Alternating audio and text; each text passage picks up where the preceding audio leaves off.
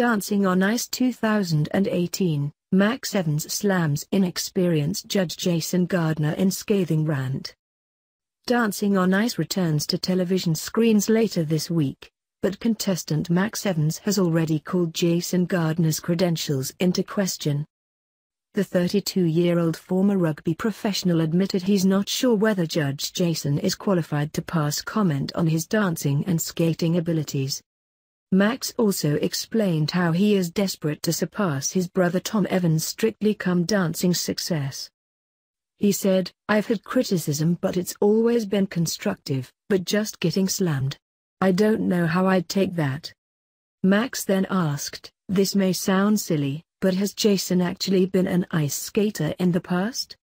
As Jason's choreography experience was explained, Max replied, I've got a big thing. When I was getting criticism in my sport background, I respected the coaches more if they'd been there and done it and actually know what they're talking about.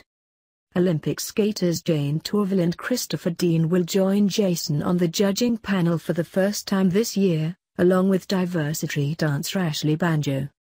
Max quipped that he will have more respect for the other three judges over Jason.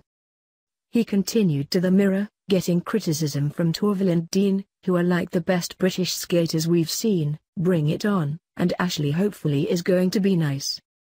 But Jason, I'm like, well have you experienced this, where's this coming from? So, we'll see.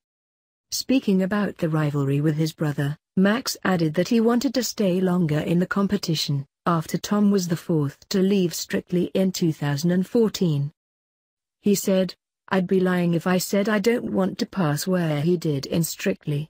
I think he went out just before Blackpool, which is about midway, so I would definitely like to get further. But I keep emphasizing these are two completely different shows and dancing on ice is way harder. But we're really competitive.